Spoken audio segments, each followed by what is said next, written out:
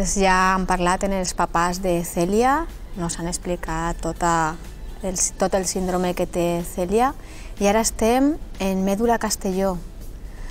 Altre tema que, que està a l'ordre del dia, els trasplants de mèdula. I me acompanyen Pablo Miralles, molt bona nit. Hola, buenas noches. Y Maripaz, buenas noches. Buenas Buena noches. nit. Pablo Miralles es de la Asociación Médula Castellón Mm. y Maripaz ha sido trasplantada de médula ósea. ¿Cómo nace vuestra asociación, Pablo? Bueno, pues Medula Castellón nace en, en febrero del año 2014. Somos un grupo de, de cinco o seis personas de manera voluntaria. Somos una, un grupo de gente sin ánimo de lucro y surge principalmente por diferentes inquietudes de cada uno a nivel personal. Pues vimos que había un poco de falta de información en lo que es la donación de médula ósea. Entonces creamos una página a nivel nacional en Facebook, luego ya al cabo de unos años nos desvinculamos un poco y, y nos quedamos como Médula Castellón, sobre todo porque vimos que había mucha falta de información. ¿no? Por, mm, la donación de médula ósea es muy importante, es importante que haya donantes de médula. Y vimos que, que en España pues muchas no había, había falta de donantes no por falta de solidaridad, sino por falta de información. Entonces como empezamos un poco a hacer diferentes proyectos para, para informar sobre, sobre la donación de médula. Muy bien, Pablo. Maripaz, tú eres trasplantada de médula ósea. ¿Cómo, ¿Cómo te diste cuenta que algo no iba bien?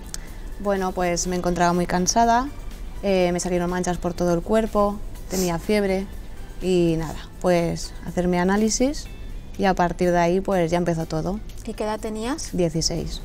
Y en ese momento, ¿qué pensaste? Hombre, no era consciente de todo lo que me venía, así que, pero bueno, poco a poco asimilándolo. ¿Cambió tu, momen- tu manera de pensar? Sí, cambió bastante. Hemos preparado un pequeño vídeo que nos ha traído Pablo. Compañeros, ¿vemos el vídeo? Y luego seguimos hablando.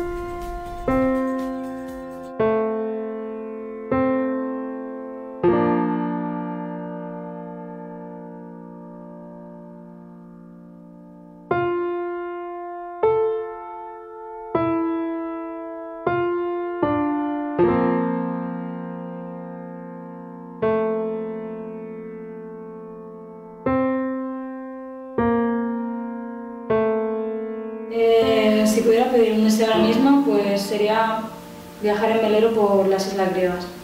Sacarme la oposición que me estoy estudiando. conseguir trabajar en Nueva York como periodista. poder viajar a- al desierto del Sahara. poder tener mi propio negocio y hacer videojuegos para todo el mundo. A mí me hace muy feliz dormir y escuchar música. Por ejemplo, es poner la radio, que es mi canción favorita. Ser creativa y original en todo lo que hago. Lo que me hace más feliz eh, es pasarlo bien con mis amigos y estar con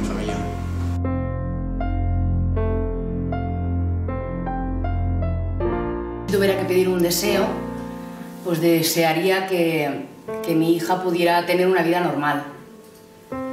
Y lo que me haría más feliz es poder estar todos los días pues, con mis cuatro hijas y mi marido, cosa que casi nunca puedo hacer. Pues a mí me haría feliz que no hubiese enfermedad en el mundo. Lo que más feliz me hace es levantarme por la mañana y ver a mi hermana bien. Que se hallara la cura para todas las enfermedades. Lo más importante en la vida para mí es mantener la ilusión y, y disfrutar cada día de las pequeñas cosas que, que a veces se nos olvida el valor que tienen, pero Me hace feliz el poder ver la calle, el poder salir a dar un paseo yo sola y el poder disfrutar de las simples flores. Lo que más feliz me hace ahora mismo es mirar a mi madre y saber que no tiene ninguna preocupación. Es despertarme cada mañana, ver a mi hija ahí y ver cómo lucha. Ver cómo lucha por salir adelante, por vivir. Si pudiera pedir un deseo, mi deseo sería poder caminar. Lo que me hace más feliz es que me toque el aire en la cara.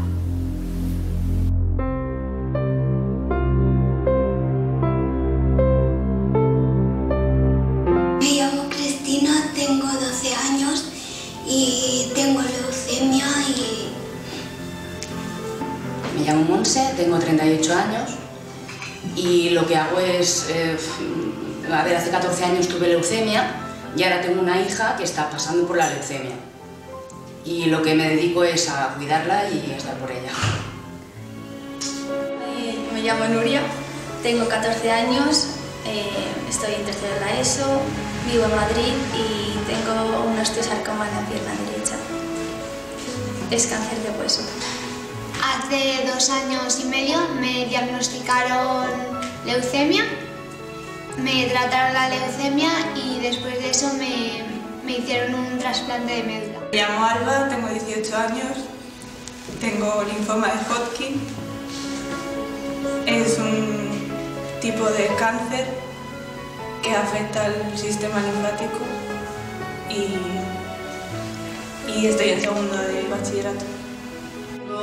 Pues tengo dos hijas operadas de una de un tumor de Wilms y otra le han hecho un trasplante de médula. Y mi marido hace 16 años se ha muerto también de un cáncer. Me llamo Fanny, eh, soy de Madrid, estudio terapia ocupacional y mi hermana tiene leucemia.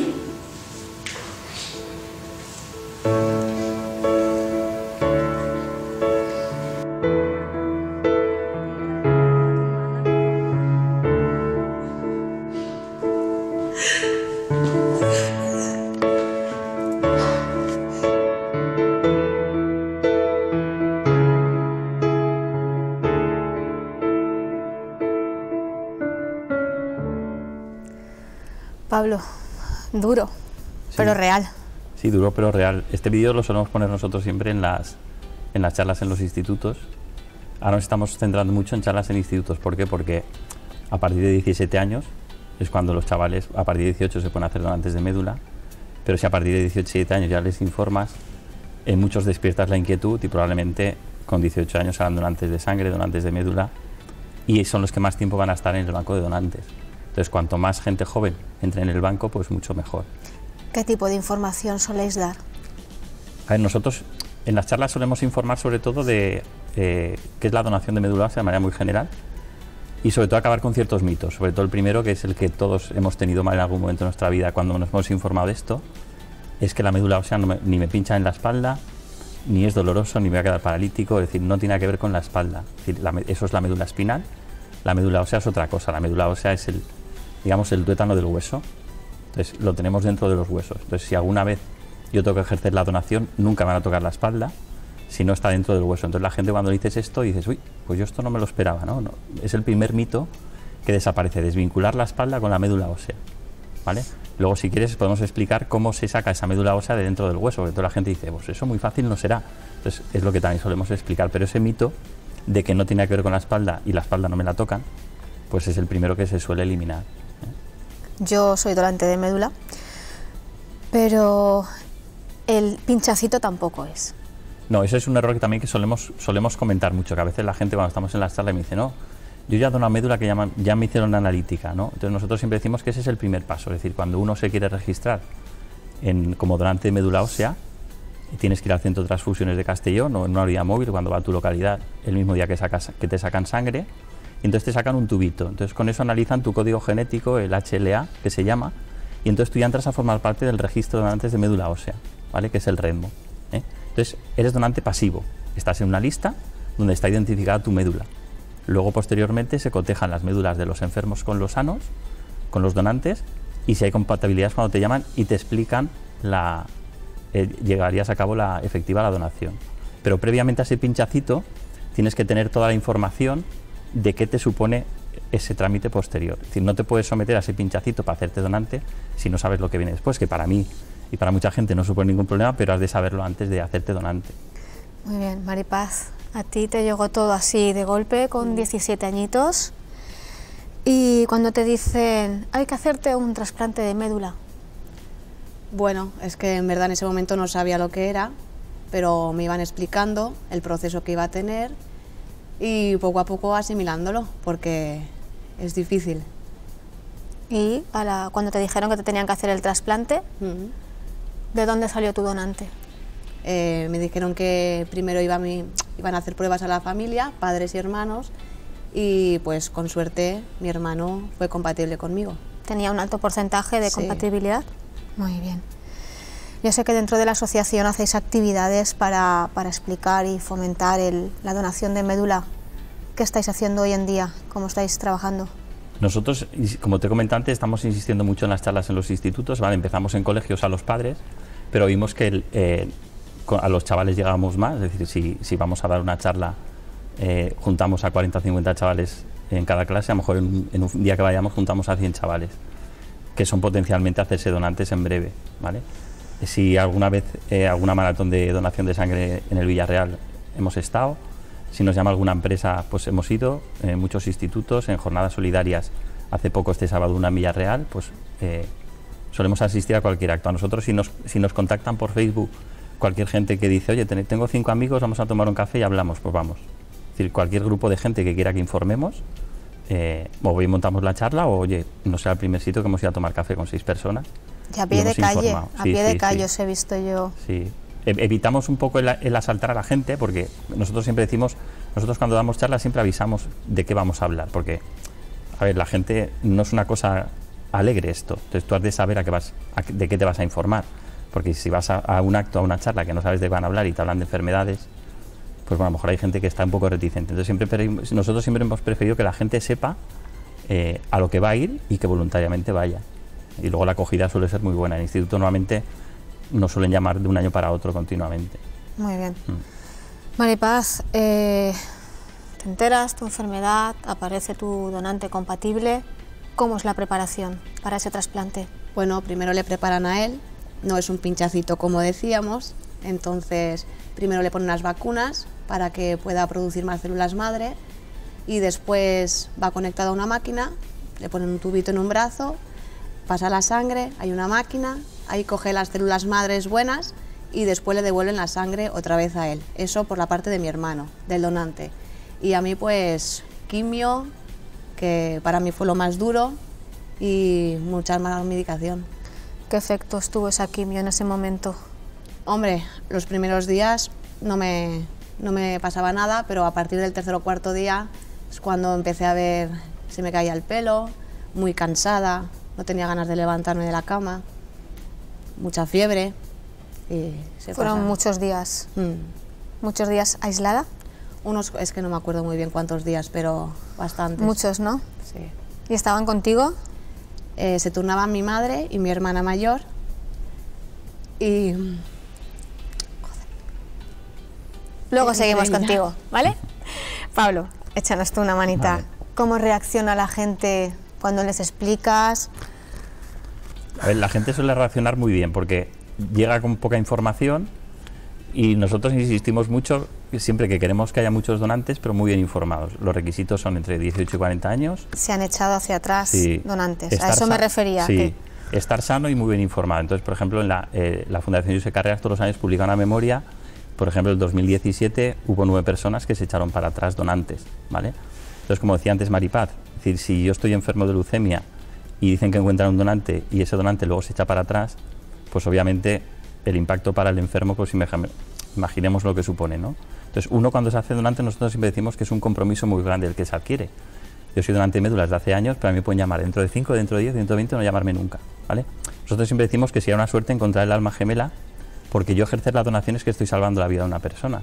Entonces, es un tipo de donación, la donación de médula, que está salvando la vida de otra persona eh, en vida. Porque si, yo, si uno dona los órganos, sí está salvando la vida de otra persona, pero, pero estás muerto, ¿vale? Es la única donación que en vida está salvando la vida de otra persona. Y eso no te quita para que si tú donas tu médula a un, a un extraño, si dentro de unos años dentro de la familia tienes la desgracia de que un hermano o alguien te- tuviera que ejercer la donación, la puedes volver a hacer. Porque nosotros normalmente donamos lo que nos sobra. Si yo donara médula, al cabo de unos días, la médula se regenera y podría volver a donarse médula, en caso de fuera algo familiar. ¿Vale? ¿Vosotros estáis en contacto con el centro de transfusiones?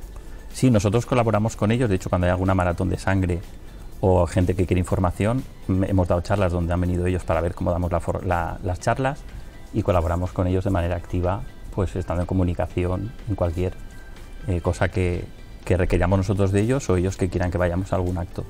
Muy Mm. bien. Maripaz, bueno, estuviste un tiempo aislada, eh, tu familia es la que se iba turnando, pero llega el día cero, el día clave, el día del trasplante. ¿Qué sentiste ese día?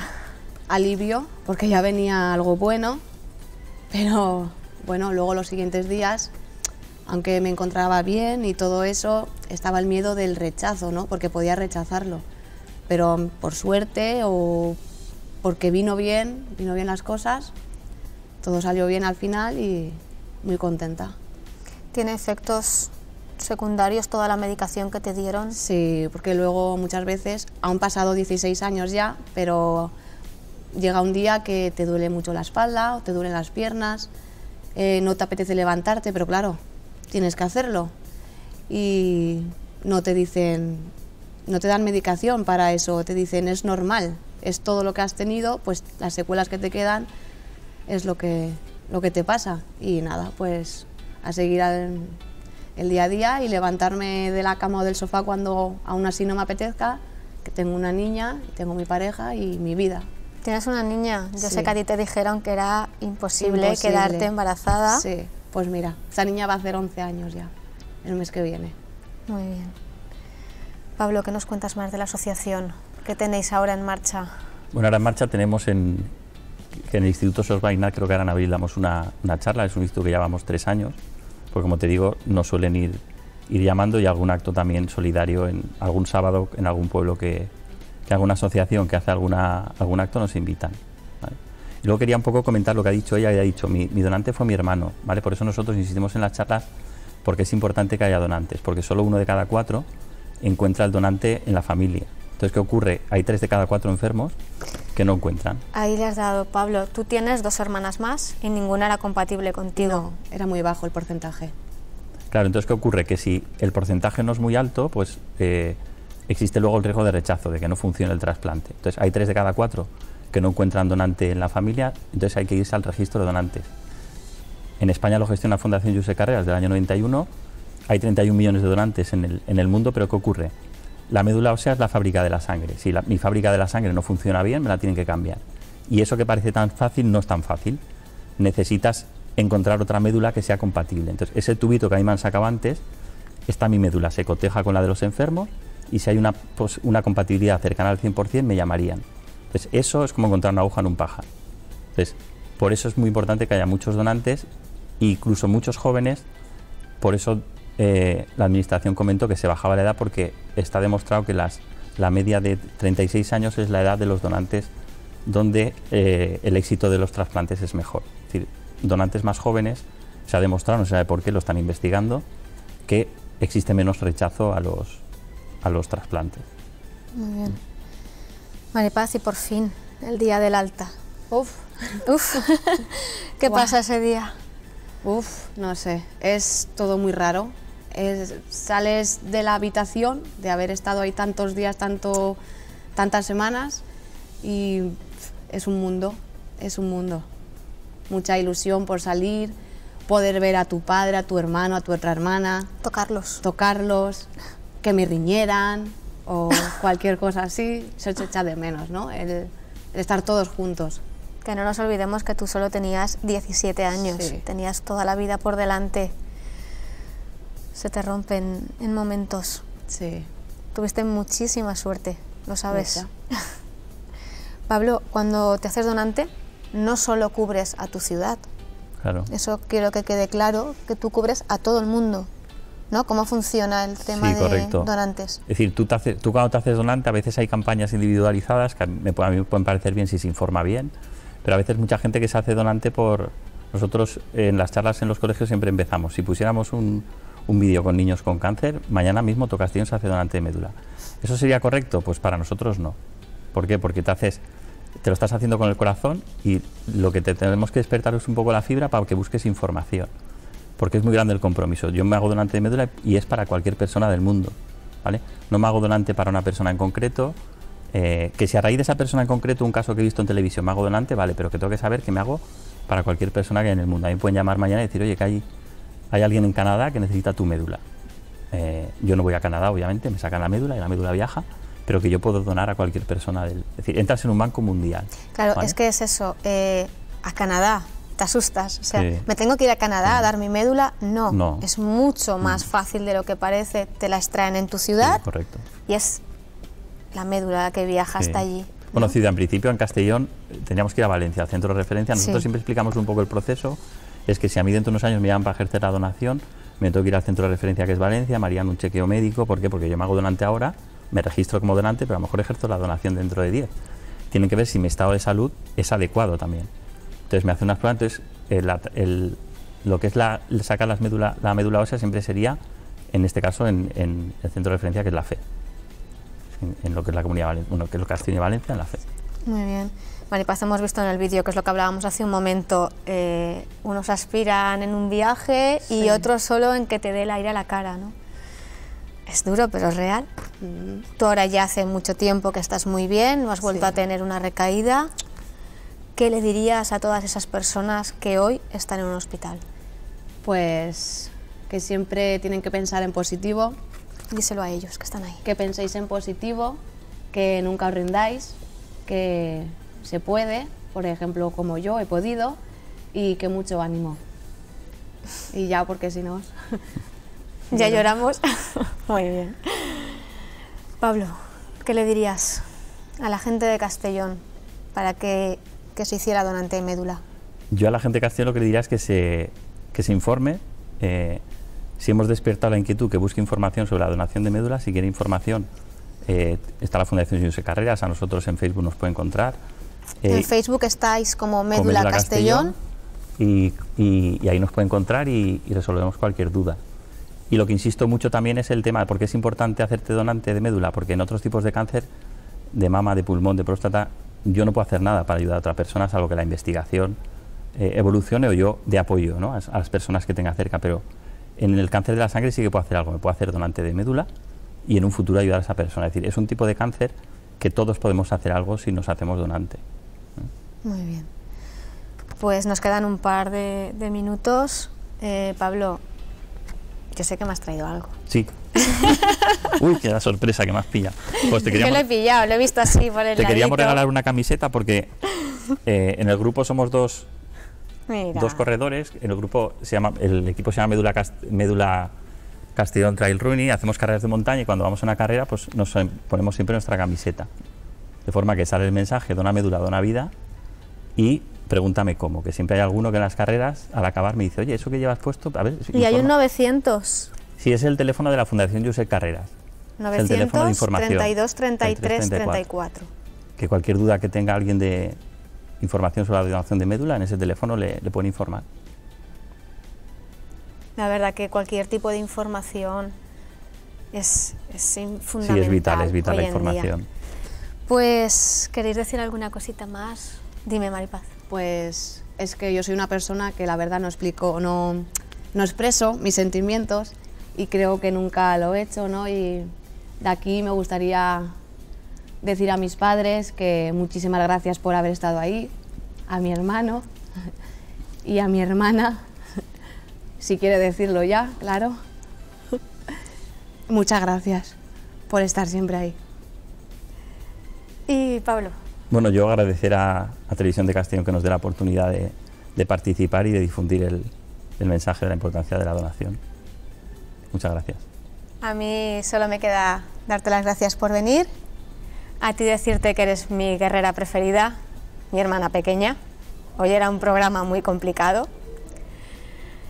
Y a tots vostès, per favor, donació de mèdula, apoyo a Celia, MEF C2. No, MEF 2C. Els espere el divendres que ve a les 9 i mitja, així, en la veu de Castelló,